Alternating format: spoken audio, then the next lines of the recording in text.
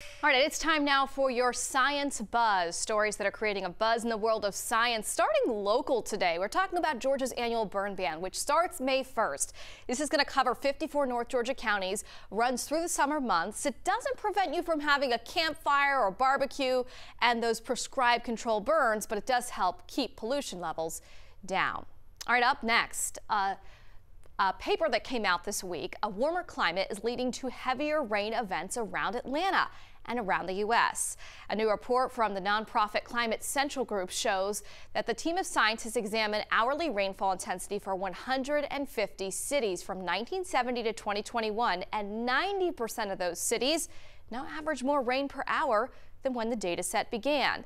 Atlanta saw an increase of hourly rain rates of 9.5% in that 51 year period.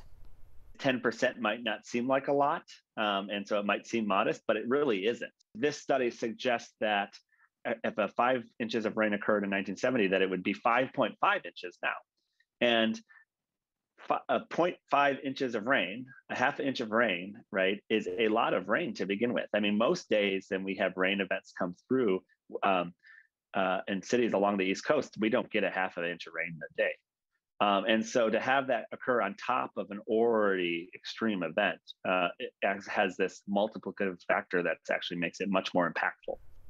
And you know, we can see heavy rain events year round from a variety of different weather systems, pop-up thunderstorms, landfalling tropical systems. We had flooding from one of those systems back last September.